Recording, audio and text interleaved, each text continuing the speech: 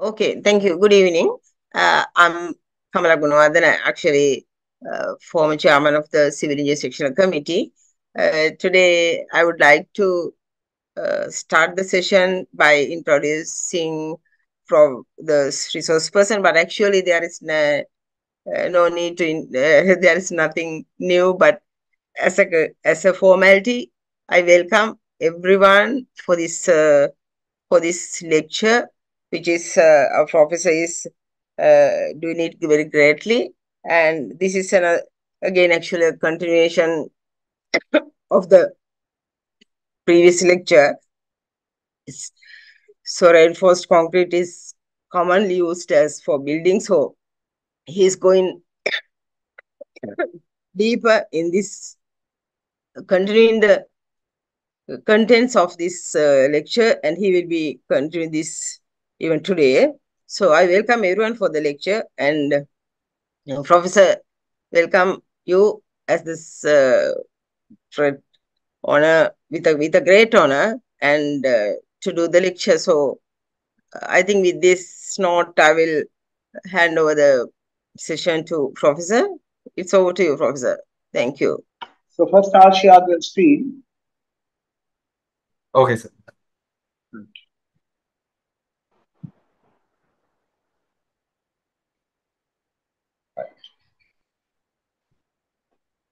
This what I showed last time. Uh, there's a note. Dandu, our engineer Banduk has already shared it. And Yeah, it has yes. a lot of info, important data. Uh, like uh, how to create the load combinations. Then about concrete, we discussed a lot about properties of concrete. And then uh, the design equations, why you get this 0.85 FCK divided, divided by gamma C giving 0.567 and uh, the limit of uh, this, uh, you know, rectangular parabolic region and the rectangular region from 0.002 to 0.0035. I told you these are valid only up to 60 megapascal cube strength or 50 megapascal cylinder strength. If you are going to have a bigger strength, these will be lesser values because concrete becomes brittle as it becomes uh, stronger. And this is the magic number C5060. And then steel reinforcement also, we have a special situation because we are now not using 460 steel that gave 400 as the strength or a strain of 0.002 now we get a strain of 0.00217.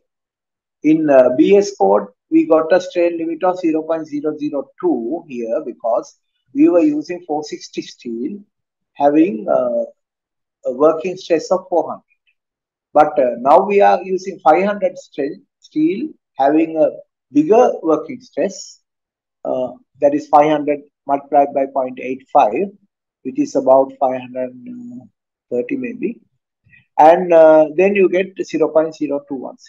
So those are the changes. So uh, this has not changed. The, the same for BS code and Eurocode. And this uh, BS code did not talk anything about 60 megapascal, so this was okay. But Eurocodes go up to 105 megapascal cube strength or 90 megapascal cylinder strength. So uh, these values will change. So just keep it in mind. Don't use the same equation without worry. So you have to be concerned about it. Then we have these, uh, you know, uh, cover conditions. And uh, generally our cover condition will be XC3 and uh, XC4 can be for bridges, highway bridges. XC3 is the normal cover condition for uh, buildings. And XC3 if you are using anything uh, any less than C3540, so if you are using uh, C3037, C3037, and uh, so here here you can't do any modification if you are using C3037, then the cover is for the normal condition is 50 year lifespan. The cover requirement is 25 But Eurocode says, uh, you know, you have to allow 10 millimeters for tolerances. So the cover requirement in Eurocode is 35. But if you are using high strength concrete, so if that if the concrete strength is more than 35, 45, reduce the class by one. So then you have to you don't have to look at S4, you look at S3, and you need 20 millimeter cover. So 20 plus 10 is 30. So if you are using a concrete like 50 megapascal or 45 megapascal or 50 megapascal cube strength, the cover requirement is 30, otherwise 35. So that's what you have to, do. it's a simple number to remember. Cover requirement is 35. Whatever it is, because we are not going to use uh, 50 megapascal concrete for slabs and beams, it's useless. Uh, 50 megapascal is needed only for columns. So you don't have to do anything like that. So just 30 megapascal concrete that is usually used. 30 megapascal is very sufficient for Sri Lanka. But you can see the cover requirement is 25 plus 10, 30. And this is much bigger than the usual value that we uh, encounter with uh, BS codes. Uh, and most of the time you will find the cover requirement is 25 or 30 millimeters. And uh, usual rule that we use is for slabs, if you want, you can use 20 millimeter cover. For beams, 25 millimeter cover. For columns, 30 millimeter cover minimum. So many engineers use the values like 25 millimeters for the slabs, uh, 30 millimeters for the beams, 40 millimeters for the columns. So that was the rule in BS. But you can see in Euro codes, it is 35 millimeters for all.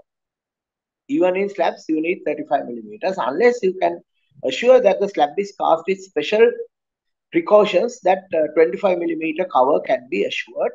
Uh, sometimes, you know, you can, it's very easy to take cover meter, cover meter readings and assure that, uh, you know, the 25 millimeter cover is there. So in slabs, if you want, you can use 25 millimeter cover, but you have to do a survey and show the 25 millimeter is there. So that is uh, something extra. So it's much easier to just keep 35 millimeter cover in the slabs as well. So, uh, but if you want to have a really thin slab, you want to optimize it, then you need 25 millimeter cover for the slabs. And uh, then uh, you have to buy a cover meter and uh, do, when you are doing the concrete, do it carefully so that uh, 25 millimeter cover can be verified and you know assured. So, so that is the situation.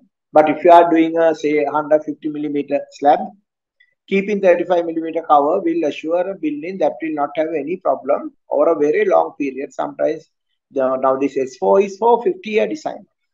If you want a 100 year design life, what are you going to do? Slab geometry. So if it is 100 year, increase the class by 2. So you have to say not S4, you have to go for S6. Now you can see the cover requirement is 35. 35 plus 10 is 45. So so, but 35. But if you are using uh, 50, so if you are if you want a very high durability, then you will go for high strength concrete, 45 megapascal. Then you can reduce it by one. That means S5 is 30. So that means if you want a 100 year lifespan, what you need is 40 millimeter cover. What you need is 40 millimeter cover. Uh, otherwise, you can do a survey and assure, if you can assure 30 millimeter, then you can even use 30 so rather than worrying about all these numbers, I generally say in Eurocode, the cover requirement is 30. In slabs, you can reduce it to 10, but you have to do the slab concreting carefully, assuring 25 millimeter cover. That's a good. But if you are not going to be concerned about it, even in the slabs, you have to give 35 millimeter cover. Is that clear, Bandhugal? Yes, sir. That, that is clear, sir. That is clear, right? Yes. Right. So, so this uh, now I think you can you can have a good idea how to use this table. So if you have uh, so for, for example, if I'm precasting a slab, the so when you are precasting the slab, uh, you have no problem. You can assure the cover very easily. So you don't need the clearance tolerance, and you can reduce the class by one. You can reduce the class by one. That means S3. So if you are precasting a slab, what is the cover requirement? 20 millimeters right? If you are precasting a slab, cover requirement is 20. If you are not precasting, 25. But when you are not precasting, better to have the tolerance 10, 35.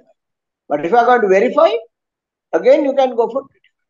So because cover is the main reason for durability.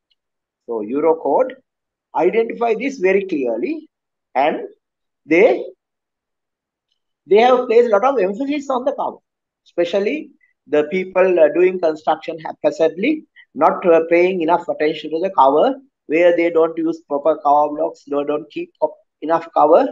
For such uh, situations, uh, Eurocode is very specific. They say keep a tolerance. And for bridges, you can see the cover is uh, about 5 millimeter more. So the cover in bridges should be 40 millimeter. Cover in bridges should be 40 millimeter, whereas in buildings it can be 35 millimeter, but can be reduced to 25 in slabs, provided that you are careful. So it's not a major deviation, only about 5 millimeter extra in the Eurocode than what you have used in the British code. So it's not a major thing, but you have to keep in mind the cover is 35 millimeters. Right now, then we looked at members subjected to flexure, and then I showed you how this uh, happens and uh, how to uh, derive this K factor. K is equal to M BD squared FCK. And then this equation. And then use this equation. M is equal to force multiplied by lever arm. Because this equation gives lever arm. This equation gives moment. So force multiplied by lever arm is the moment. The only unknown here is the area of steel. So you can straight away find the area of steel. And we did one example. And uh, we showed, then I showed, there's a shortcut method. You don't have to use any of these equations. Just find MOBD squared, divide by 4, and that is equal to 100 As over BD. But uh, that is a shortcut. For any site situation, you have a you, you have doubt, use that method.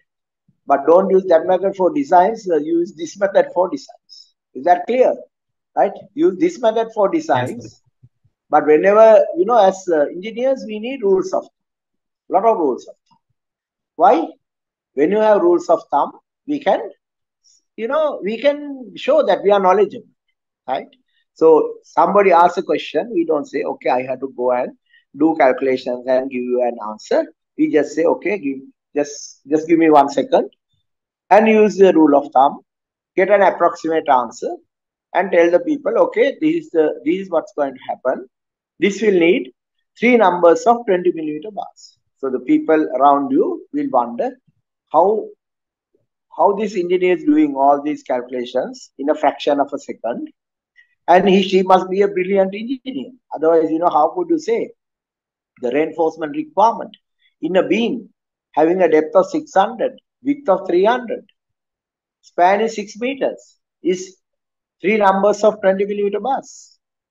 And uh, a young engineer would quickly check it on his uh, computer program, Excel sheet, and he confirms, so, okay, this engineer is uh, correct. Yeah, his, his answer is correct. Then the people will start wondering, how on earth you do all these calculations, but you have your own set of simple calculations. So that is uh, called heuristics or rules of thumb. So the rule of thumb is, you know, a shortcut, pretty accurate, not 100%. But it gives a close enough answer. Uh, when you are doing uh, some, you know, some work which needs, uh, uh where you have to see the big picture. Now, when you are designing a building, there are two levels that you can do the design. The first is the preliminary design, where you get all the general arrangement drawing properly done. With the, or when you are selecting the structural form to be used, the general arrangement drawing, where you look at the alternative slab systems, right? Come up with the most economical slab system. So that is the preliminary part of the design. So, so if you get the preliminary part of the design correct only, you can do the we can do an economical design. Otherwise, you can do a design.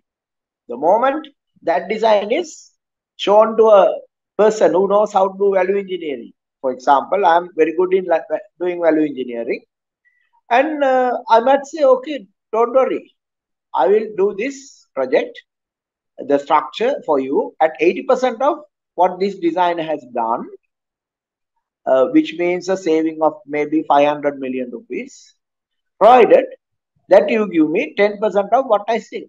10% of what I save, right? 10% of 500 million is 50 million. So that's how some uh, engineers, uh, you know, uh, use uh, earn a lot of money. Uh, so there are few engineers who are really good at that, and uh, so so they they earn money this way because whenever they see an average design, they offer the value engineering solution. In value engineering, if it is a tendered, already tendered project, where the contractor comes up with value engineering and uh, let's say the project value is uh, 5000 million the the the contractor sees the opportunity for value engineering and he says okay i'm going to save 1000 million or i'm going to do the project at 80% of this cost then what happens then the then the client will say okay I will allow you to come up with a solution on one agreement according to FIDIC uh, conditions of uh, contract. Uh, when you do value engineering, 50% belongs to the client. So the project cost is, cost is uh, 5,000 million, it will become 4,500 million because uh, the contract is going to save 1,000 million, right? So 5,000, 80% is 4,000, saving is 1,000 out of that half belongs to the client. So client gets a saving of 500 million. Contractor also gets a saving of 500 million. So so this uh, 1000 million the the fee of the value engineer is 100 million 10% and value engineer gets 100 million. Contractor gets a profit of 400 million so without doing a single thing by doing a value engineering the contractor gets 400 million. But on the other hand, uh, the contractor would need uh, far better quality assurance and quality controlling during the construction. So uh, the contractor may have to hire about 8 to 10 young engineers who will keep an eye on the construction aspects strictly so that uh, you know the optimization can be uh, realized properly in the actual structure. Now that's how the projects like Altair was done. Altair had 24-hour surveillance at the site by young engineers. Some some contractors are reluctant to uh, you know employ engineers, thinking that uh, engineers are expensive. But uh, the reality is, you have engineers at the site as quality assurance, quality controlling, and quality assurance engineers, uh, you know they can be uh, they can make things happen. So so when you go for value engineering value engineer will say okay i'm going to bring you a big profit. Out of your profit of 400 million keep aside 50 million for the salaries of these extra engineers who are going to make it happen properly. Because we can't have you know haphazard construction when you do value engineering value engineering means very accurate high quality construction, which can be done by normal people, provided that there's a special team of quality controlling and quality assurance engineers who are going to keep records. And the value engineer will certainly provide all the knowledge needed, but he cannot provide the supervision. Supervision has to come with uh, with by employing a lot of young engineers who can provide 24 hour surveillance even if a concrete is done over 24 hours there will be three shifts of engineers who will take over from eight, eight hour shifts. So like this, you have to have engineers. Some you can't have one engineer doing uh, say 18 hour shifts or something like that. You have to have many engineers doing eight hour shifts so that the quality controlling, quality assurance part can be properly recorded and all the record copy keeping will be there and you can use a database for record keeping. You don't have to write everything on paper but uh, everything can go into a notebook but uh, every day all the data is entered and you have to have an up-to-date database so if any anything goes wrong on a particular day all the information of what happened including the photographic evidence and video evidence will be there. So this is a new level of construction that you need in Sri Lanka because uh, of uh, very high construction cost with average designs. Now many clients are seeking value engineered solutions where the cost of construction will be low, but the quality assurance scheme will be tough. So that's a way forward uh, when we are in a crisis where the steel prices are extremely high, something like uh, including VAT, it is about 350 to 355,000 retail.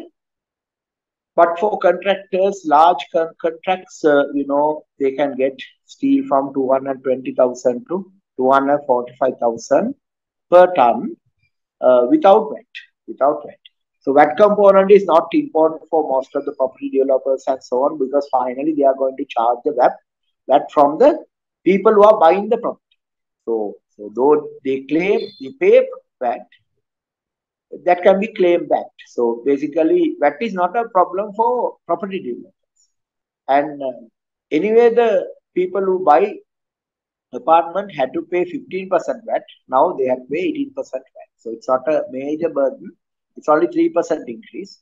But on the other hand, if you do value engineering and bring the cost down drastically, say bring the construction cost down by 25%, then then you can pass part of that advantage to the buyers. And finally you will find buyers are actually paying less.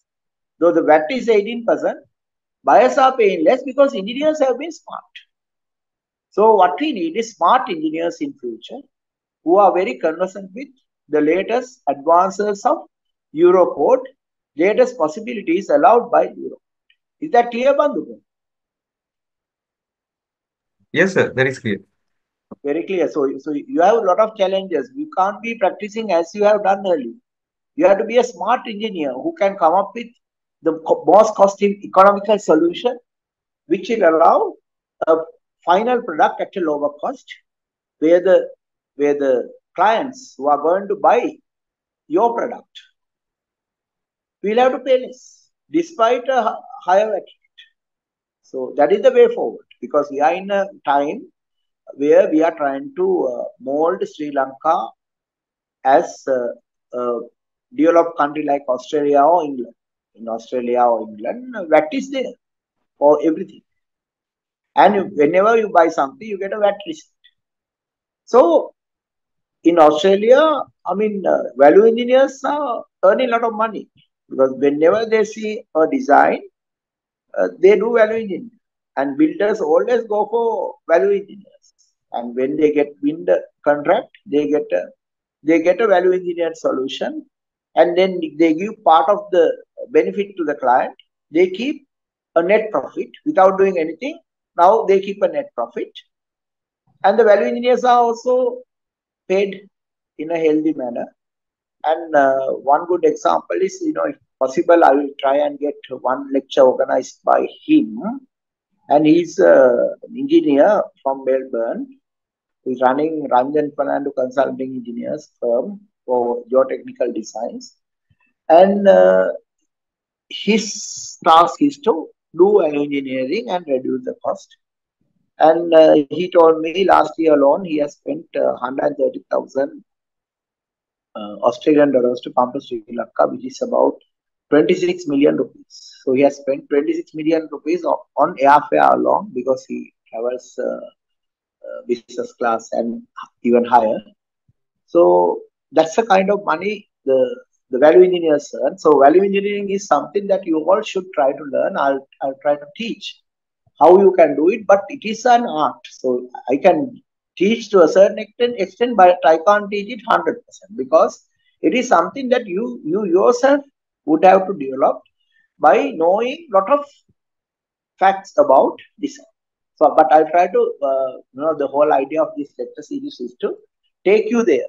But how well you go there will all depend on how much effort you put into this. Right.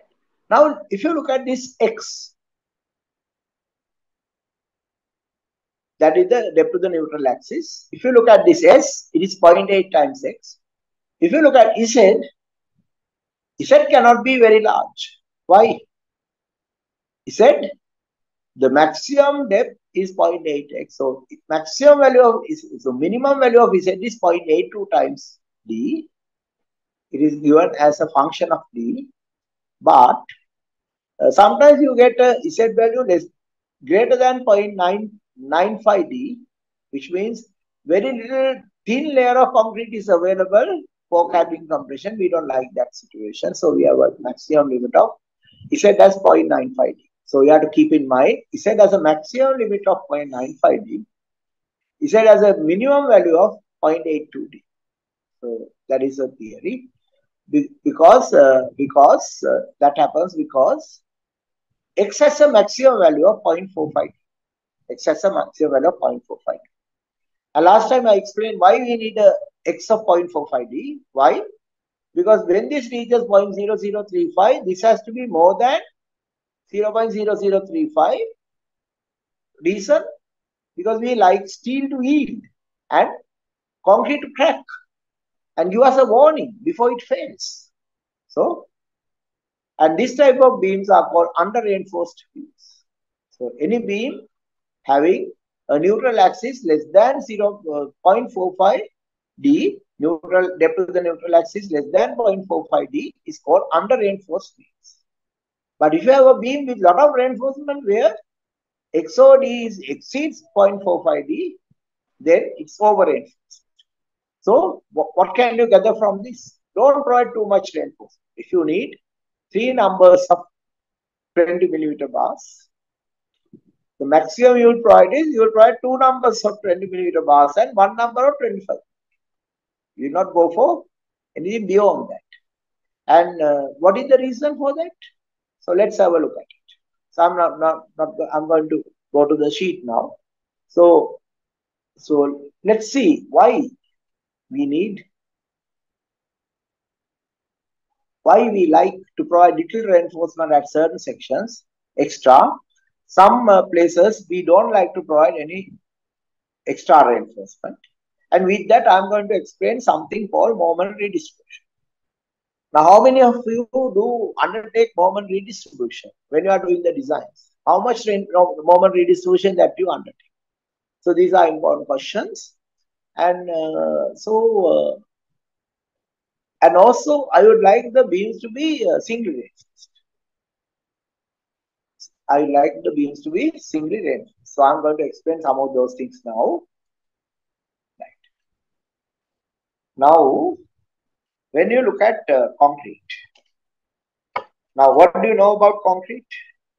Concrete is a, is based on natural materials. Concrete is based on natural materials. Okay, so we have concrete. We have concrete. What are the ingredients for concrete? Concrete cement based on limestone, clay, natural materials, sand, metal. So, all these are natural materials. Now we mine sand. We manufacture sand. We manufacture sand, we mine sand, we dredge sand, dredge the sea. Now all these will have environmental cost.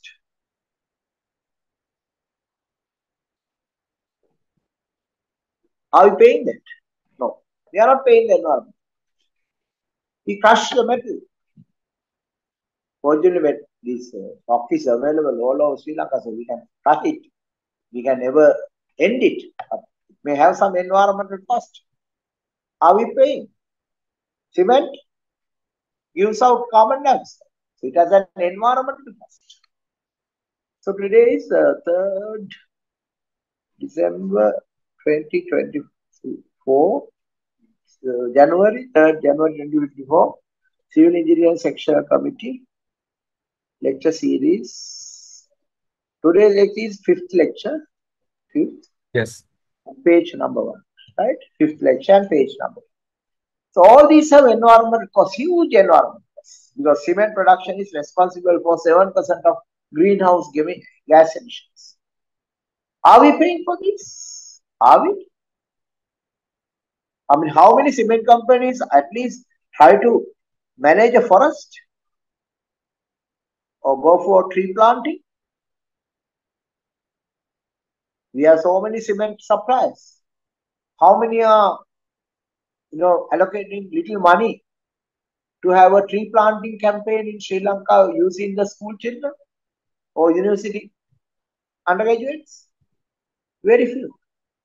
But these are huge environmental. So, concrete is cheap. Why? Not that it is cheap. If we pay for the environment damage, it is not cheap. But it is very, very cheap. Steel, recycle. Even the even the billets that you import from any country, most of the time they will have about uh, 25 to 80 percent recycled content. Sometimes it can be as high, high as 90. Recycling is okay because it needs less energy than uh, making steel from iron ores. But what is bad is recycling at lower temperatures. If you do the recycling at high temperatures using uh, steel, so using electric furnaces, then recycling is good. No problem. So you'll find, uh, you know, most of the countries having hydropower. Those are the countries where the steel, uh, you know, converting steel from steel ore is carried out. In all the other countries, they do uh, recycling. Converting steel ores, ores to steel needs lot of energy. But recycling needs less energy. So recycle recycling is good, no. But you can do it using electric furnace, not using gas. Because gas cannot give the correct temperature sometimes. So you have to do the correct recycling. And in Sri Lanka, some people recycle without using gas uh, powered systems, uh, which may not be the ideal. The ideal is to go for electric powered uh, recycling. So we have two materials. On one side we have concrete. This side we have steel. Concrete is very good in carrying compression. Concrete is very good in carrying compression. Steel can carry compression or steel or uh, tension. Steel can carry both. Now, so my perception is if concrete is good, use concrete to carry because concrete is cheap, use that to carry compression. Use steel only to carry tension. To get a situation where you have to doubly reinforce the section like this. What is the meaning? What is the meaning? Meaning is wasteful design. Design by selecting a too small section at GA level, general arrangement. At GA level, uh, you have selected two small sections.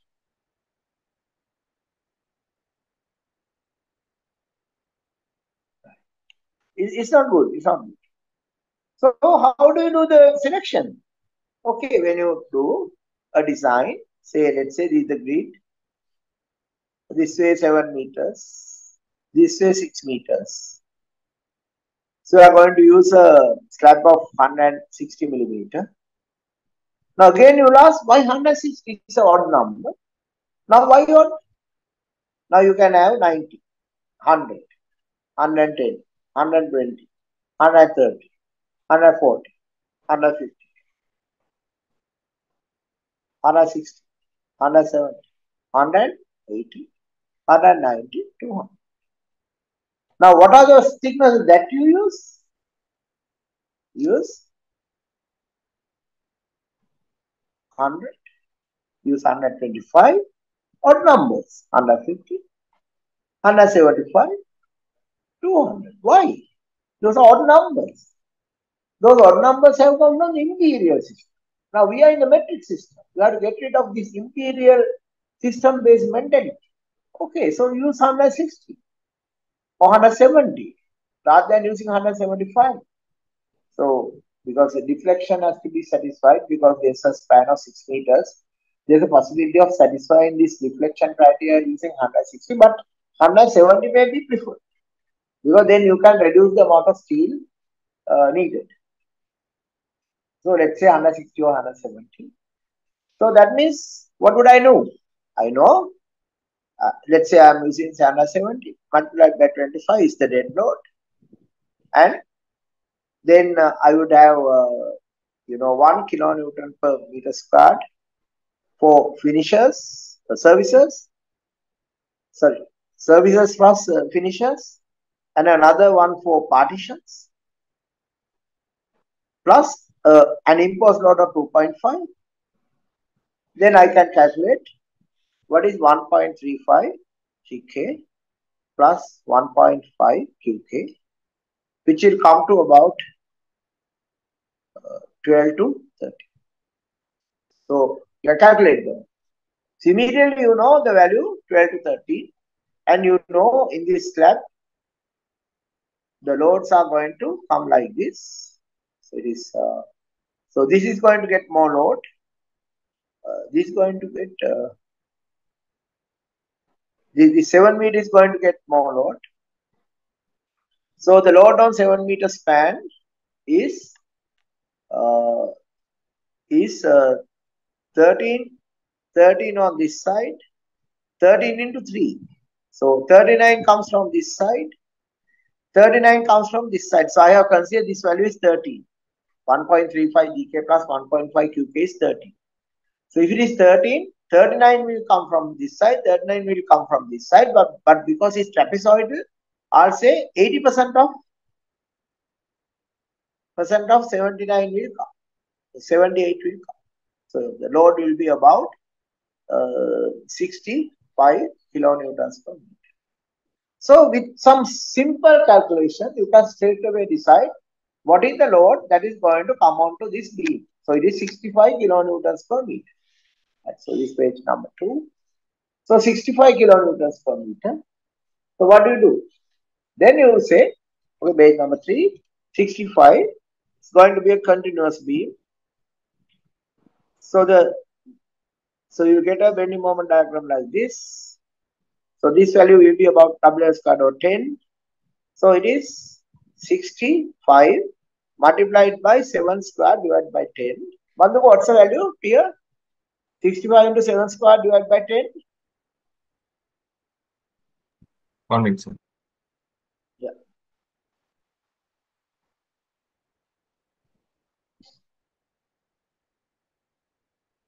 We have 318.5. 380. So let's say 320. Because we are doing approximate calculation, right?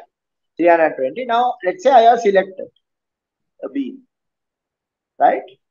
And uh, the beam is uh, 300 wide, 600 deep. So what is the what is uh, MOBD square? 320 into 10 to the power 6 moment MOBD square. Breadth is 300, depth is uh, 545, uh, 35, 45. What is the value to?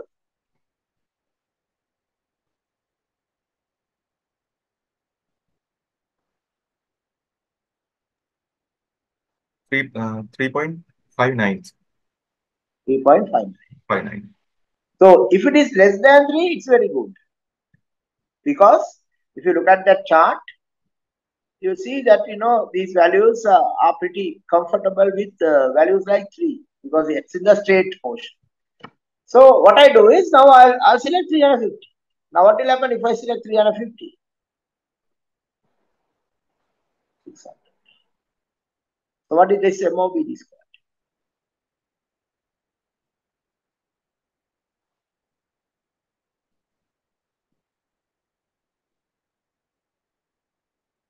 Instead of, so you divide it, multiply it by 300 and divide by 350. You get 3.2. 3.2. Yeah. 3.2. So that's good. Even 3.59 is not a problem. Why? Because this is not going to behave as a rectangular beam. This is going to behave as a flange beam. So that means, what is the reinforcement arrangement? Singly or doubly? Singly. No reinforcement needed at the top because it's a flange beam.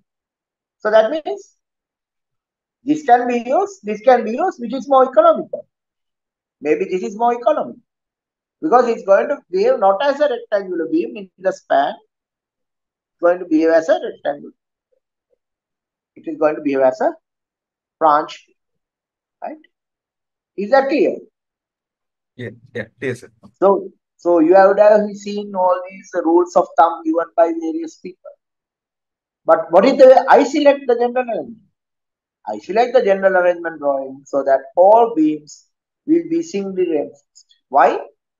Doubly reinforced beams are very expensive. What is the reason? For concrete, we don't pay for the environmental cost. For manufactured steel that is imported, there's huge amount of steel energy component in it. So steel is very expensive. It is very, very expensive. One meter cube of concrete can be made for 22,000 rupees at the site without transportation, right? For the as the material cost, the material cost. I'm not talking about labor cost, right? 22,000 as the material cost, right? But one ton of steel, it varies without VAT, 220 to 245,000 per ton. For what? For, for the people who are doing contracts, big contracts.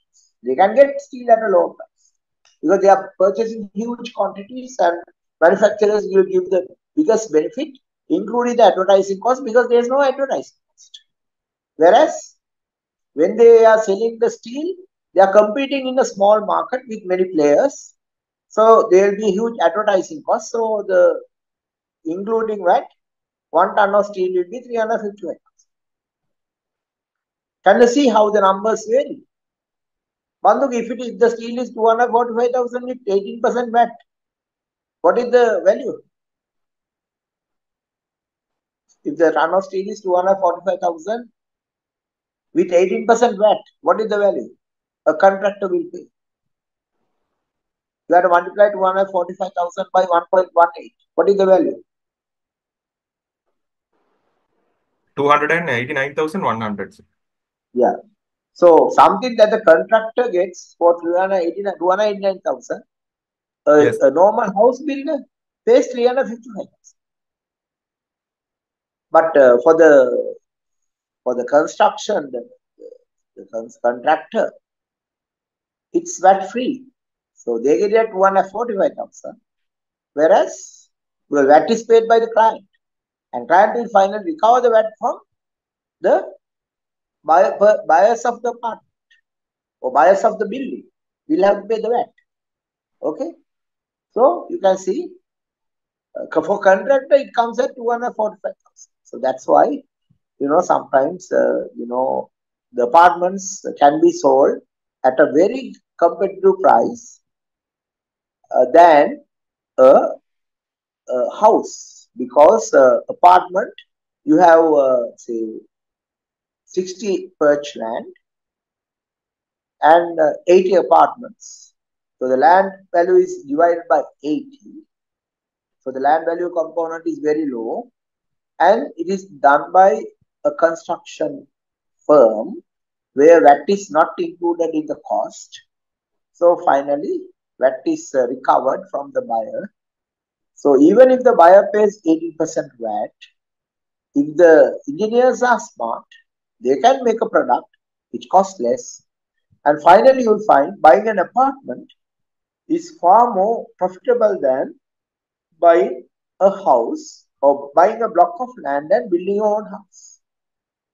Now, this will all happen if the designers are uh, smart and they know these facts. When the building is designed, all the beams are singly reinforced. No beam is doubly reinforced.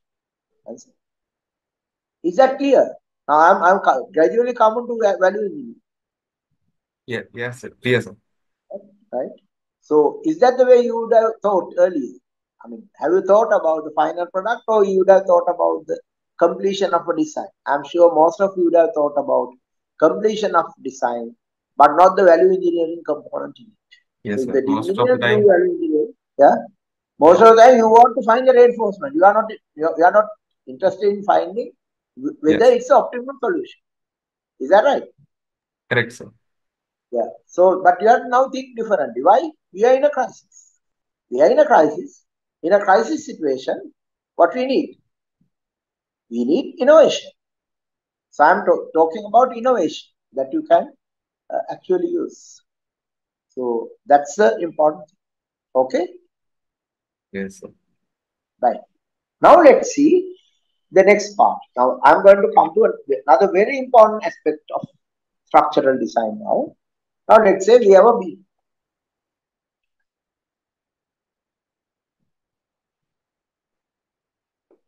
Six meters, seven meters, six meters. Now, you might ask why I selected seven meters for the middle. Actually, when you have three span, uh, if you make the center span slightly bigger, it's good. Why? First load case. What is first load case? All loaded maximum.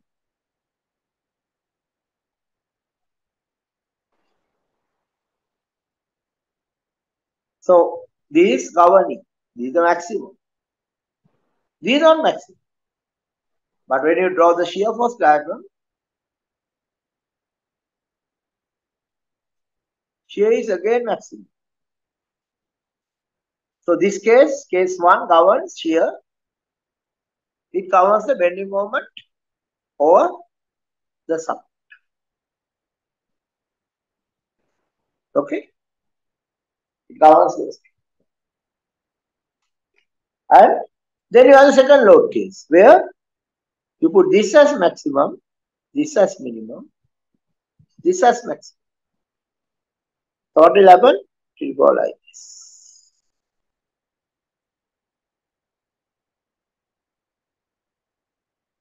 Then you have third load case where you put this as maximum, others are minimum, so you get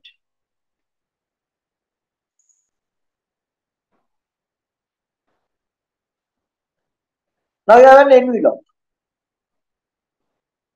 And what we should do is we must redistribute the moments.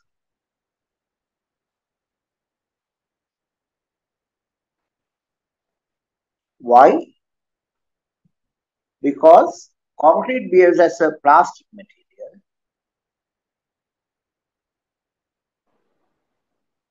Plastic material. Steel behaves as an elastic material. Later it will go into plastic zone. But our analysis is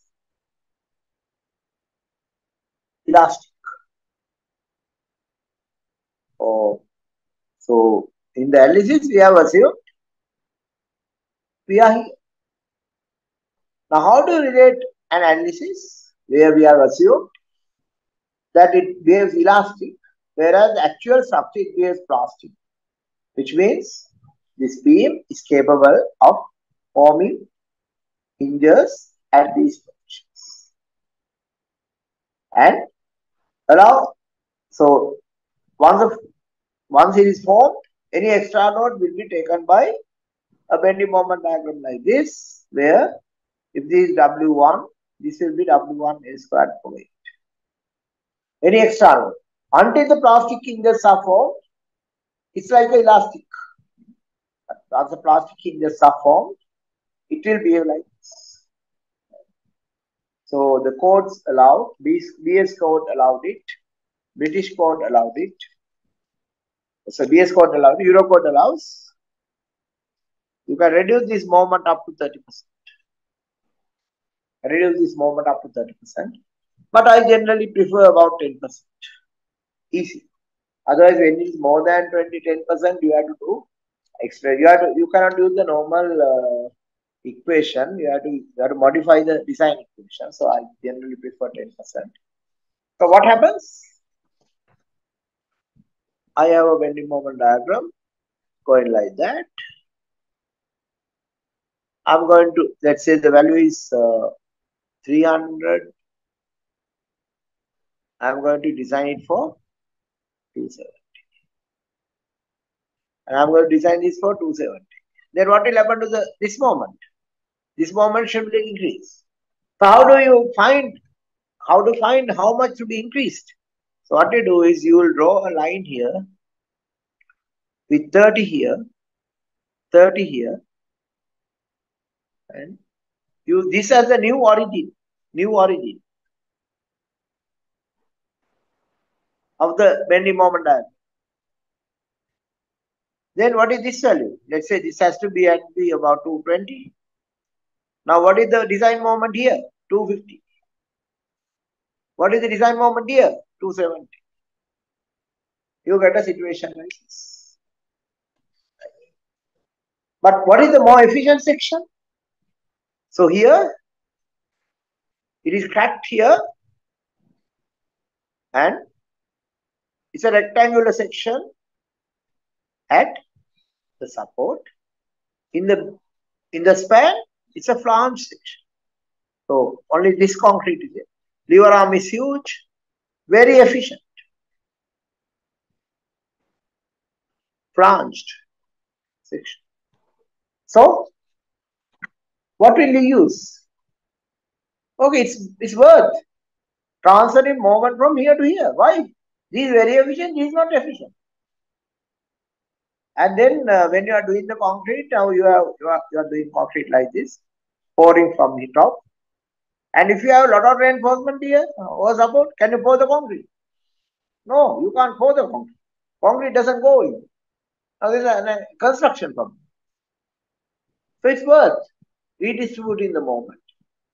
And the most important thing you have to understand is we have a column, column, column,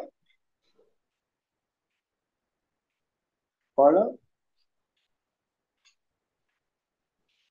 the columns, a lot of columns. And can a beam fail here?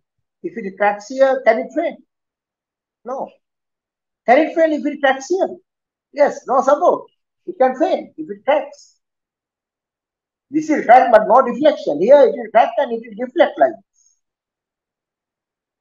So what is the best occasion to have a crack? At support. So no extra reinforcement at support. Why? If you put extra reinforcement, then you are going to hinder the concrete. Now, and because it's not going to fail, so no, no extra reinforcement is needed. It, will never fail over the column. It will form a plastic, no problem. It's allowed. But where will it fail? Here. So where do you need extra reinforcement? The span. Be, be little generous. So when you know it in the flange beam, you do all your calculations in the reinforced because it's flange. And you have, you need 3T, 3H20. You provide 2H20 plus 1H20. Why? Because uh, even if the beam, beam is overloaded, what will happen if the beam is overloaded? Which section will uh, have a problem? Yes. At the support, it will form a crack. No problem. That is accepted. What will finally fail? The span. What is going to fail finally is the span. What are you going to do? You have put little very extra reinforcement in the span. It's going to fail. Will it ever fail? Even if it is low load. Banduga, will it ever fail? Will it beam ever fail? No. No. Oh, no, sir. Is that the way you have done the designs? You provide extra reinforcement over the support. You provide extra reinforcement in the span. Is that right? Yeah. You will not look at it this way. But this is the correct way of looking at reinforced concrete. So when I am designing, I will never provide anything extra over support. Just a calculated value. If I can uh, say there's a violation of 10 or 20 or 30 millimeter square, I will not even bother to do that. I will just provide even less, slightly less, because we know I can go up to 30% redistribution. I have done only 10% redistribution. So provide slightly less than calculated. Over support is accepted. Provided you have provided something extra in the span. Right? But that is not the way reinforced concrete is designed, taught. Always make sure you provide something extra at all sections. Is that right, Bandhuga? Uh, yeah, yes, sir. Yeah, you will always provide something extra at the support, something extra in the span. Yes. But what is the safety? No safety. Because if something goes wrong, what you have provided extra is only little extra. But what I say is provide something substantially extra in the span because that's the section that's going to fill. Got it? So I have provided not just a little. I have provided uh, 20 millimeter buys 340, 25 millimeter buys 490. So how would I detail that beam then? How would I detail this beam? Because if you look at the moments, it's likely that I will get three numbers of so I'll get 2H20 and I will provide 1H20. I'll provide 1H20. Or it could be even 1H60. Now here I will provide 2H20 but here I will provide 1H25. Can you see how I uh, detail the beam? Because I, I don't mind providing less here because I am providing more here. And I am providing less in a less efficient section. This. I am providing more in a very efficient section. Providing more in a very efficient section. So which will have a higher increase in moment capacity. This will have a huge increase in moment capacity. Delta M is very big. Here the delta M is very small. So no point in providing anything. So provide less. Even if you provide less, the, the amount that you lose is very small. Whereas by providing more here, you are going to gain a lot. Anyway, you have to keep in mind that, you know, we have 1.35 GK plus 1.5 K. Huge assessment and 1 kilonewton per meter square for partitions. Probably never comes. Maximum load of partitions will be 0.5. So, so when you are designing, you have to be very practical. Very practical. Right? Think what's good, what are I doing? And provide the reinforcement accordingly. That way, you can do wonders with your designs, and your designs will be extremely economical, competitive. No person can come and do value engineering for your designs. And that's what we need from practicing engineers because your duty is to give the best for the client. What is the reason? For doing some calculations, you are paid 1% of the cost of the structure. So the structural engineer's charge should be 1% of the total cost. Why? Because this includes supervision. Whether you have continuous supervision or periodic supervision, whatever it is, it's involves supervision. So you should not do any design for less than 1% of the total cost of the project. But if you are doing it for the structural cost, it should be at least 2% of the structural cost. Why? By doing it for 2% of the structural cost, as an engineer, you are going to save 20 to 30% cost. You tell the client, okay, you hire me, I'll save 20 to 30% in the cost, but you pay me 2%. Then you can see you are charging 10% of the what you see. And the saving cannot be done doing normal designs. You have to do special designs. Thinking completely out of. Is that clear? That is clear, sir. So you can see these are new philosophy, right? Not not not a typical reinforced concrete design teaching that you always get at universities. It's far different. Even at MSc level, you have learned at this this kind of concepts because you know now uh, with Eurocode only we decided okay now time is enough is enough because Eurocode allow us to do a lot of uh, you know uh, economical designs by stretching the materials to the limit. So we are going to uh, develop this. So uh, this kind of things I uh, I was doing, but uh, I thought it should actually we should bring it into uh, the teaching uh, because initially what happens is we get engineers who have not seen even a structure or concrete. We have to read them reinforced concrete design, so we struggled a lot with them because they don't understand most of the things we tell.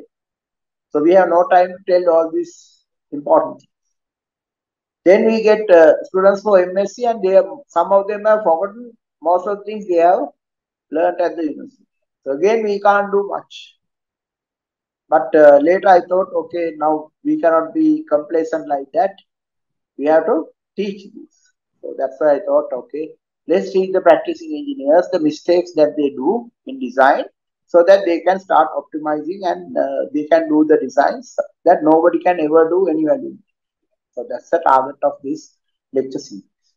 Uh, you all of you are to be regular designers, but uh, nobody can do value engineering for your designs. So that's our target. Okay, Bandhuga? Okay, sir. And sir, uh, what can we do to uh, take these value engineering tips and things to practicing engineers? Uh, I mean, from this lecture No, series. actually, actually now, now, now, now I'm one by one. I'm going to disclose this uh, a different way of thinking about structures. That different way of thinking is the one that value engineers use. So for a value engineer, a slab cannot be 150 or 170 millimeters. It can be anything like 130, 140, 150. And he will try his best to go for 130. So how much he saves? 20 millimeters each slab, 50 story building, 20 into 50, 1 meter. So he saves 1 meter thick concrete, having a weight of 25 kilonewtons per meter square. So what will happen to the foundation load? Will be reduced by 25 kilonewtons per meter square. Just because the engineer was smart enough to consider 130 as the slab, not 150. Because we are measuring in with the tape. So tape has 10 intervals. Whether you use 130 or 140, always you can maintain. Right? So the if it is if you need 175 as you, just you look at it, so you try 150, 160, 170, and 180. Most likely it will be 160 that you can manage. Or sometimes you find uh, you find 170. Sometimes you find uh, because of deflection criteria and so on, uh, 170 actually gives a more economical design because it needs less steel, though the, they need little bit of concrete extra. The concrete is a very cheap material. If you save lot lot of steel, it is going to be cheap. So you will you will you can not do one calculation. You will do two calculations. One for 160, one for 170. Calculate the steel quantity with a rough detailed drawing and then you decide whether to use 160 or 170 in this 50 story building. Why? Because if you save 10 millimeters, you are going to save 500 millimeters or 50 meters, 50 meters. So for everything, it is not one calculation. Not your task is not to find reinforcement. Your task is to find the optimum solution. And generally, engineers do not spend time finding optimum solutions. Why? Because they spend a lot of time finding the reinforcement.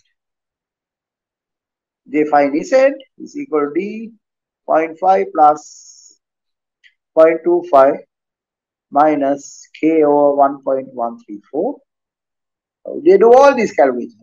M is equal to 0.87 F by K A S multiplied by Z.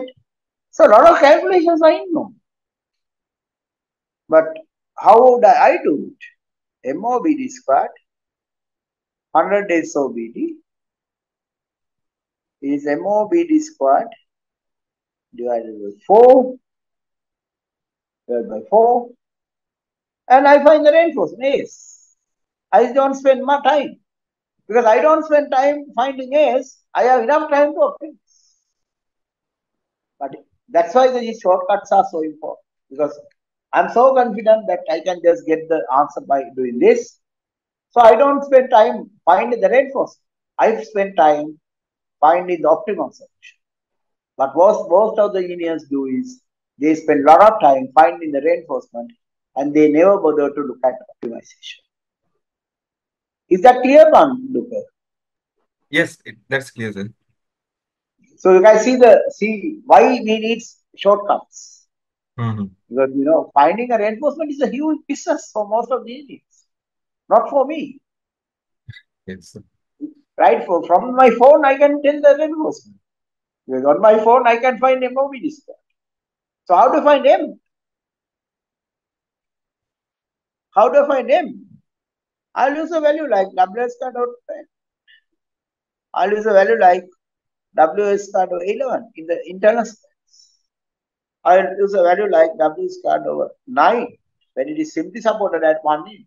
But no structure is simply supported like this. So even in this, this span, I'm going to get some, some fixity here. So I'll use WS squared over 10 here. Here also WS squared over 10. So I don't waste time finding the moment. On the other hand, if I if I want to find the moment, this is what I do. I don't worry about the full structure. I'll go for a substructure and put it onto SAP 2000 or Midas gen. I put rollers here. Create this, create this, create, and then find the bending moment. And then I can do wonders. I can redistribute the moments just by looking at the moment. I can decide the diagram. I can decide how much redistribution because uh, redistribution means changing the origin of the bending moment. It's very easy, and I can find it the moment accurate. On the other hand, I can find the moment approximate and quickly do a design. So somebody says, okay, I like to find the shear. So I find the maximum load multiplied by 0.6. That is the shear force. I don't do a, I don't, if I, somebody asks, what is the shear? I say, okay, it's 0.6 times the full load. On the other hand, I can find it from the minimum diagram. Uh, the moment uh, the model is there, you can find the shear force factor. Is that clear, Bandhu? Yes, sir. Clear. So what is the time now? Uh, now 8.20, sir. We have several questions as well. Yeah, so shall we answer the questions rather than going forward? forward? Yeah, okay, sir. And uh, I think, you know, I explained many things today. And the important parameter I'm going to share now. uh, The important parameter I have to show is this uh, magic number k. k as a magic num k is a magic number. K as a maximum value is 0.167. 0.167. But when you when you are when you remain MOBD squared below 3, this will never be violated. It will always be singular.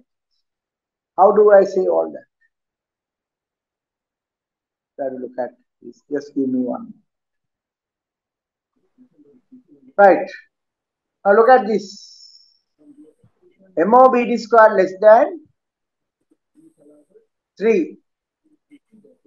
What is 100 days of BD? No problem. This 100 days BD value and it's reinforced. Even if you go up to 4, you can still, if your if your grade of concrete is high, you can simply reinforce it. But you know, a lot of reinforcement is needed. So that's why I like a maximum MOBD squared of about 3. here lot little reinforcement. When you go up, more reinforcement. So I like a value like uh, 2.5 to 3. Even 2.5 is okay. Very little reinforcement. Can you understand that, Banduka? Why I have this magic number 3? Uh, yes, sir, it's bit clear now. Yeah, because uh, with this uh, 3, now I, I need this little reinforcement. If it's 2, even less. Why? Mm. Steel is a very expensive. So why do you want to save concrete when when the expensive material is steel? Use less steel. Because when you use less steel, your structures are extremely ductile. They, they, they, are, they are very much under reinforced. They will give a lot of warning before failure. So they are good. Any structure packed with steel is not good. They are, they are very expensive. So select large enough sections. What is the other advantage of selecting large beams, wide beams? You can do the construction easily. Most of the problem time, beams get honeycombs. Why? Somebody has selected the width, width of the beam as how much? 250 or 200. What happens when you cast? You can't pour the concrete.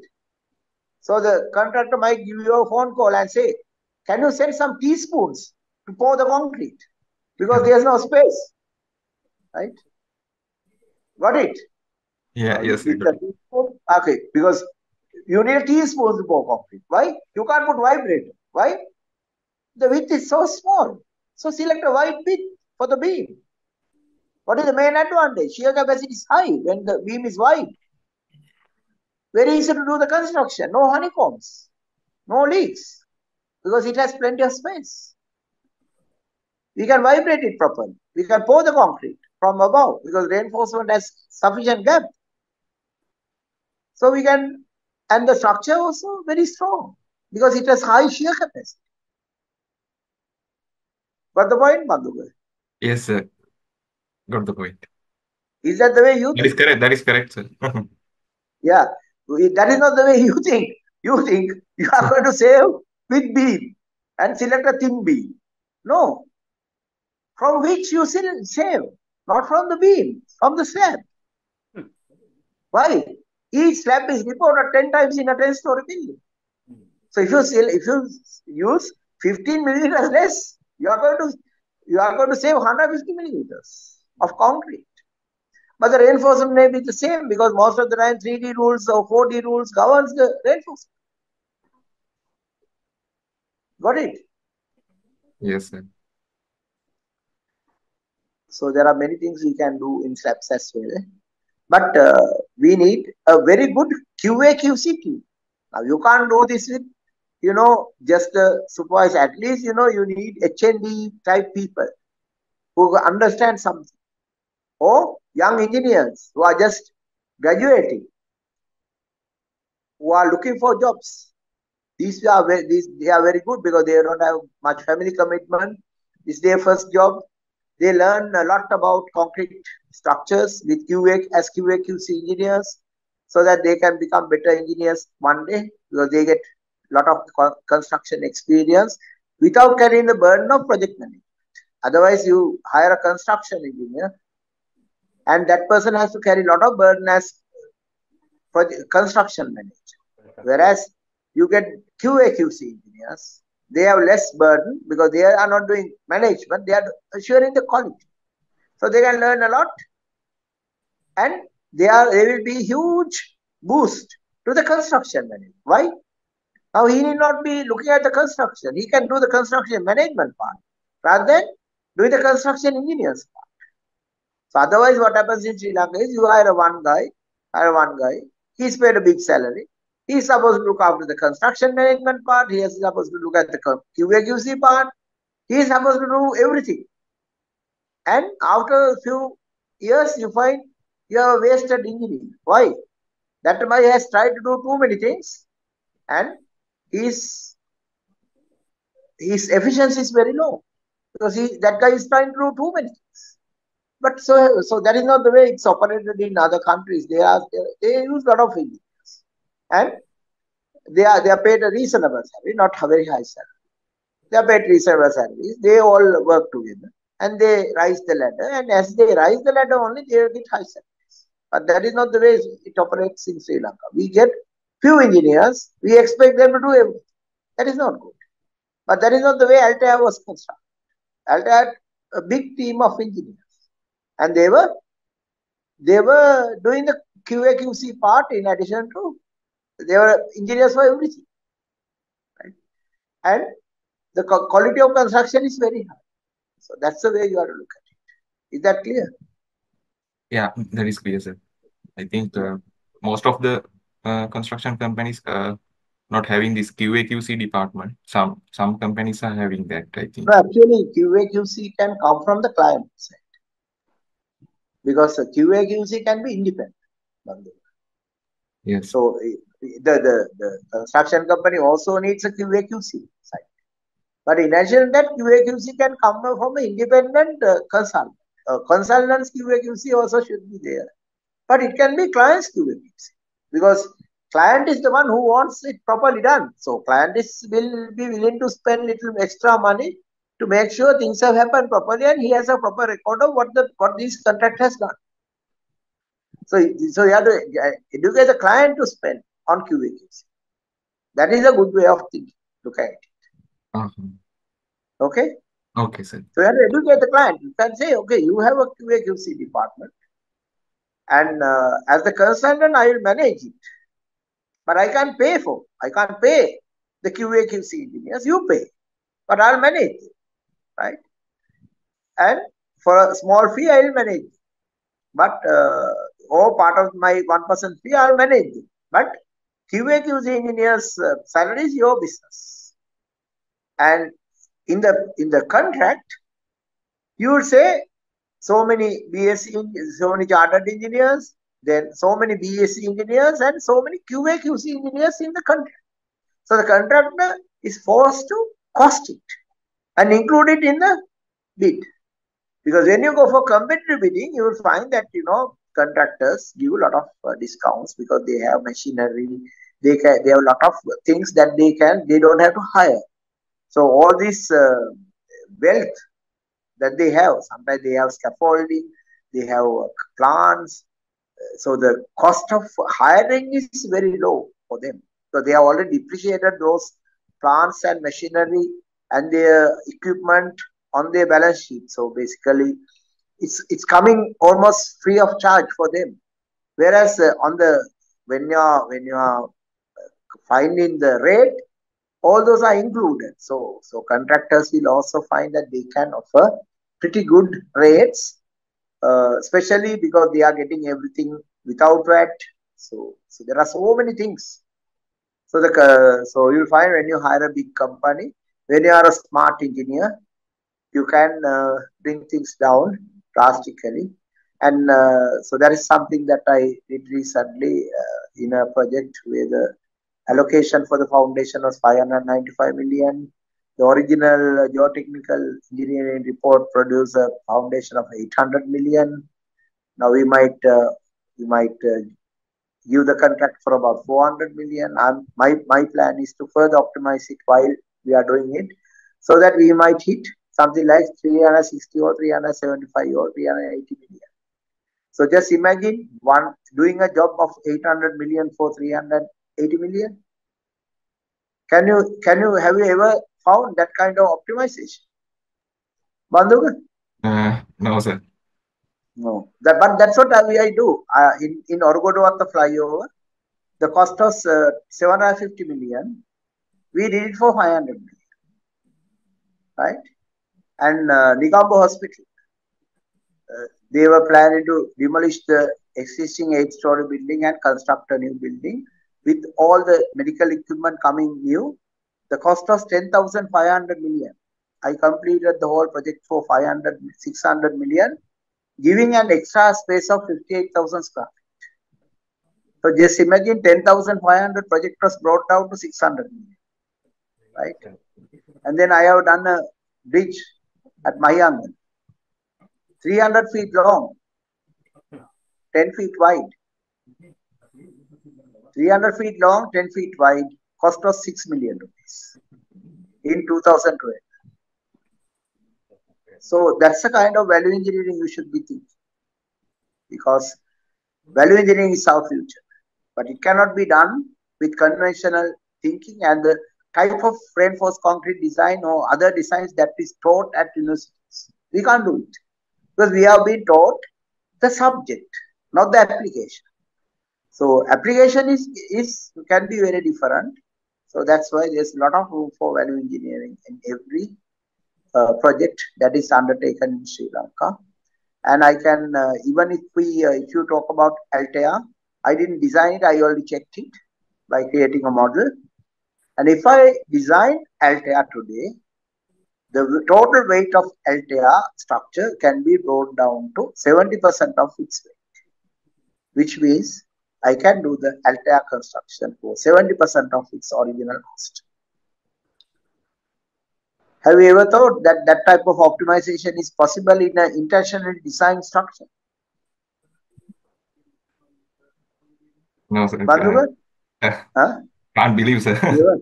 Can't believe this. It's possible. If you want, I'll tell you. Uh, towards the end of the lecture series, I'll show you how the Altair can be designed to weigh 70% of what it is today. So that's the final thing I'm going to, I'll wind up one day, might need 25, 30 lectures, but uh, the final day I'll show you. So keep, keep that in mind. Ask that Okay, sir. question from me, right? Okay. And I will show you, right? So what are the questions? Yeah, uh, there are only uh, there are four questions. Uh, one is a bit long question. Uh, I will read, sir. Uh, Yeah. uh, if uh, if the load of the slab distributed to beams as per yield line pattern, is it Yeah. reasonable curtail? Is it reasonable curtail bottom reinforcement close to the corners of the slab on the No, actually, actually, in, in- actually, in, in, in two-way spanning slabs, uh, no engineer practices this in Sri Lanka, but uh, there's something called all the moments that you calculate based on yield line method is applicable only for the middle strips. End strips is not applicable. End strips is a nominal reinforcement. And no engineer in Sri Lanka practices that, but by practicing the edge strip middle strip method, you can save a lot of steel in a. Okay, Bandhu, that's the answer, Yes. right? So I'll be covering that later, but so don't worry. Uh, Okay.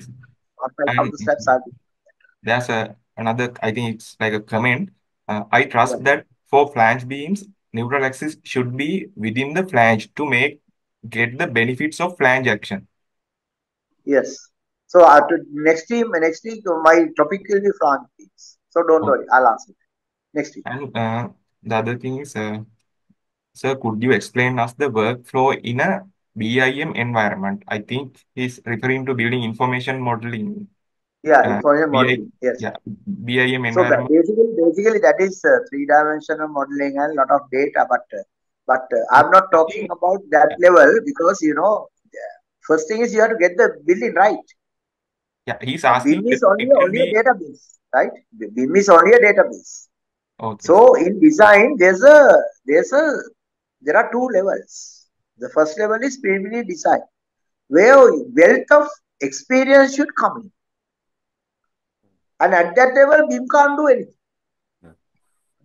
But once you design, produce, start producing the drawings, BIM can do a lot of things by coordinating among all the people who are involved in the project. Right? Uh, BIM can't do anything at the level that I am talking. Uh, that's what he's asking. He's asking BIM environment. Uh, can it be done at this uh, structural design stage, something like No, that? no, He no, no. Now, this is the initial stage. Now, we are trying to get the numbers right. Yes. Okay. At the level that you are going to get the numbers right, BIM can't do anything because BIM is a computer tool. Okay. Whereas as humans, we can think. Computer can't think. Computer can coordinate. So BIM is good for coordination. But now we are still at the infancy. That is pre-design stage, where we are going to get the numbers right. And Mm. numbers right is a game where we use the brain. So that part cannot be done by computers. Right? Okay. Computers, once we do that part, we get an optimum solution. Coordination of the construction activities of this optimum solution can be done by the computer. That is the B. Mm, mm. Got it? Yes. Yes. Got got it, sir. That is question. There's one last question. Uh, if we expect some amount of shear force in a beam, like uh, 100 kilonewton, using that value, how can we do the flexure and compression reinforcement in a beam? I think uh, Ah, that is that is uh, some topic that I'm going to cover shortly because you know shear okay, design there's a special way you have to think about it. So I'll cover. Don't worry. okay, sir. In the next few lectures, you will learn all that. Okay, sir.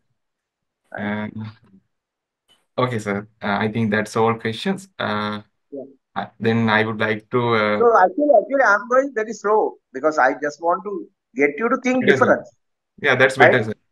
Yeah, because uh, getting you to change the way of thinking is not an easy task. Yes, sir. And also, I thought, sir, that this uh, value engineering uh, part that is very, I I felt it is very important. So, what can we do to uh, take this to practicing engineer engineers in a more efficient way? No, we are doing this. no, We no, doing. no. What to is, you know, you individual now there there have been 144 engineers Yes. today, Yes. and there will be many more who will go through this lecture when it is available on uh, YouTube. Yes. Okay.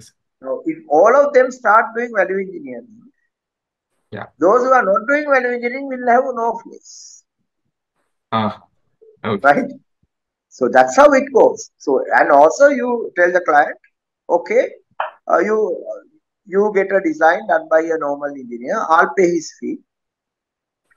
Then I'm Hmm. going to do value engineering, reduce that fee by 20% or 30%.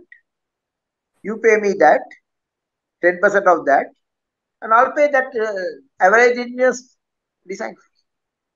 Because you know, when you are in a 5,000 million, say, uh, 5,000 million big project, 30 story or 40 story building, right? It will cost 5,000 million, right? And you are going to reduce the cost of it by 40%, structures cost. So make it so in a five 5,000 million project, 2,000 million will be the structure. Out of 2,000 million, you save 20%, sorry, 40%. So, so you save uh, 400 million, right? Okay. Whereas the design fee is 5 million, sorry, 50, 50 million. So you are saving, sorry, uh, I got the, the wrong.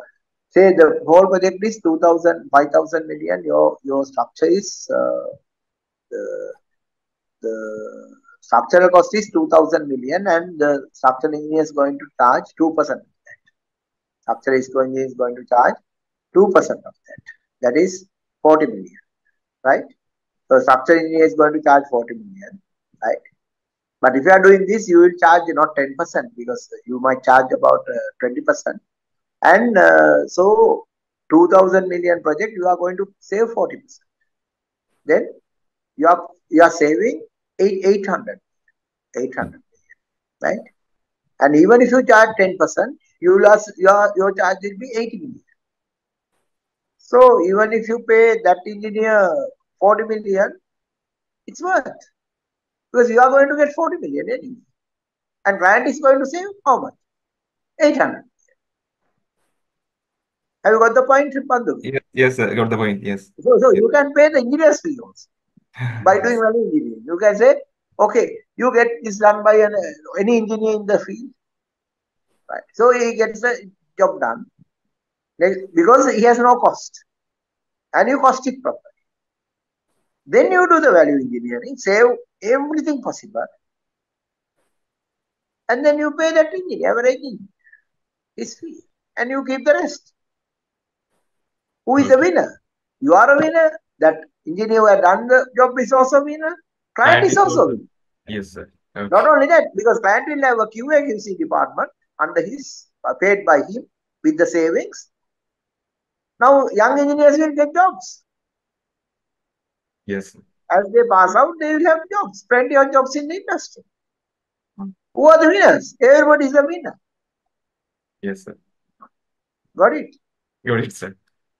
And Okay, so let's think all, sir. differently. And uh, I would like to uh, invite uh, Civil Engineering Sectional Committee Chairman, uh, Engineer Mangala Silva, uh, to do the vote of thanks and wind up the session. Um, yes, sir. Um, sorry that, that actually I couldn't participate at the very beginning. I couldn't log into that one. Um, once again, I would like to say thank you very much to Pro- Professor Jayasinghe. And uh, um, Professor Jayasinghe has mentioned something about he's willing to do a value engineering at the end of the session. I think, sir, we can arrange a physical session for that one.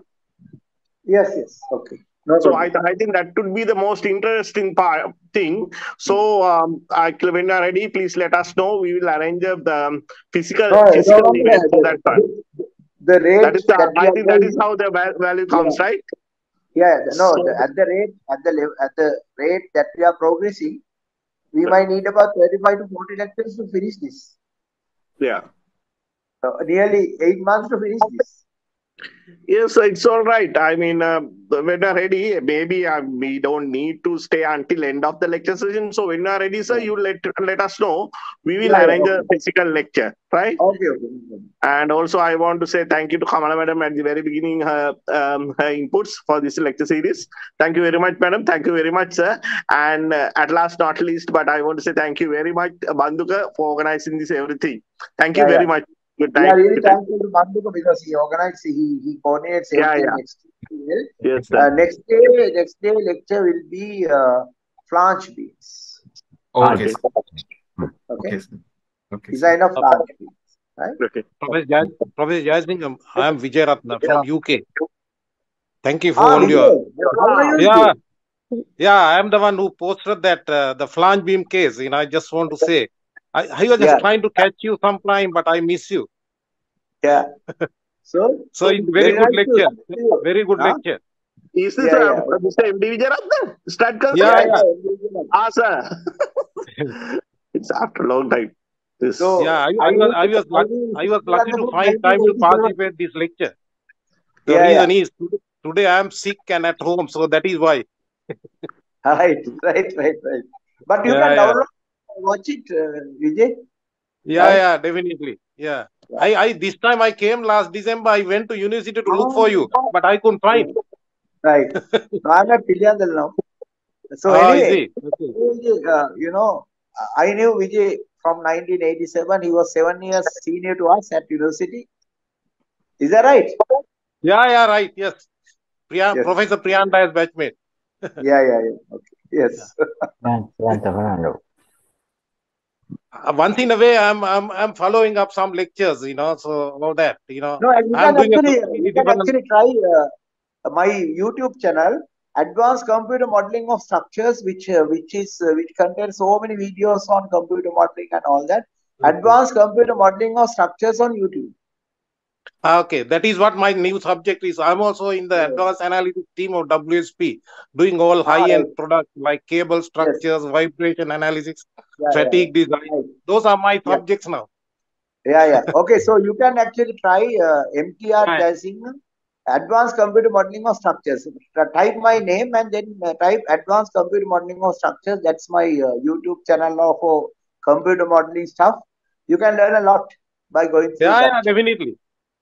Definitely. Thank you very much for your uh, kind Yeah, cooperation and yeah, all very nice lecture and it is very, very yeah, uh, this thing, value engineering is a very yeah. valuable field here in UK either. Yes, yes, yes, yes. Yeah. Okay, thank Okay, you. thank you very much. great time. I'll Yeah, catch you once you. again. Yeah, uh, Mr. Vijayaratna ran Stat Consultants uh, until he left Sri Lanka in nine, 2000 something. Is that right, Vijay? 2006, yes. 2006, yeah. Uh, okay, then, thank you very much. Glad glad to hear your voice again. Yeah, yeah, thank you. Yeah, I Yeah. do. Yeah. Okay, thank you for allowing me to talk. Thank you for allowing yeah. me to And talk. also, Thank you. and also, Mr. Vijayaratna followed our first MSc batch, 1995. 96, and he did MSc also with me under my supervision on High rise buildings and wind Is that right, engineering. Vijay? Yeah, wind have and a paper on seismic engineering. IESL. We have a paper on IESL which is used by engineers on uh, the wind behavior, dynamic behavior of uh, of build, tall buildings under wind, and it was yeah, published in definitely. 1998. Transactions. I have done a massive building in Iran, so which is uh, highly seismic, and I, I definitely uh, oh, every time I can remember what you So told me. So Vijay, uh, are you in a position to share a lecture for us with what your whatever what, your what, what, what kind of a subject? no whatever subject you feel Yeah. comfortable, we are willing to hear, listen to. Yeah, generally I am doing a lot of fatigue design, vibration analysis, So and you can uh, you you can you can you can, you can uh, the vibration analysis fatigue design is a very good topic for Sri Lankan engineers. So if you can do about one or two lectures under this series, it's it will be very helpful. okay, we'll try. Yeah, Yeah, yeah. Okay. okay, Okay then. Thank you very much. okay. Is, is your telephone number still the same? Yeah, yeah. Same number. Okay, okay. I- I'm on WhatsApp also. You can uh, try Okay, that number and send you. your WhatsApp number. Okay, I will send an invite. Okay, thank you. My God, I am, I am very happy pleased today that I was able to catch you. Yeah. Okay. Okay. Right. For last so many years, I was just trying to struggle. I did, I didn't come, only came only four or five times to Sri Lanka. Every time I miss you. I'm very sorry. Right. Yeah. Yeah. All Okay. my okay. Yeah. Okay, thank you. yeah. Okay. Okay. Thanks. Okay, bye. Yeah. Wish you So all happy new will year. Yeah. We all wish you all a very happy new year. I forgot to tell, tell that. because today is a sad day uh, because my research supervisor in Cambridge has uh, just passed away this morning. So Oh, uh, not a good day uh, because he was a brilliant design engineer called Professor Chris Burgoyne, one of the Ah, best okay. in the world. Yeah. Ah, I have met him here once. All right. Yes. Yeah, you know, long ago, about 10 years ago. Yeah. He retired in doing, uh, 2017, and uh, to, by this time he's about 73 years. yeah, maybe. at the age of 67, only 73, but uh, he was a very healthy man. Suddenly he got some problem and passed away. Yeah, We yeah. really don't know what is the exact problem, but uh, just admitted to the hospital within one or two hours, he has uh, died. So not He's a lucky person without he, suffering. yeah, he's a lucky man. Yes. Yeah. Yes. Um, okay then. Thank you very much. Okay, thank you all very much. Very kind of Okay. you. Okay. Okay, bye. Okay. Okay. I'm leaving now. Okay. okay, Okay, sir. sir. Thank you. Thank you, Thank you very much. Thank you. Thank you. Thank you very much. Bye. Bye.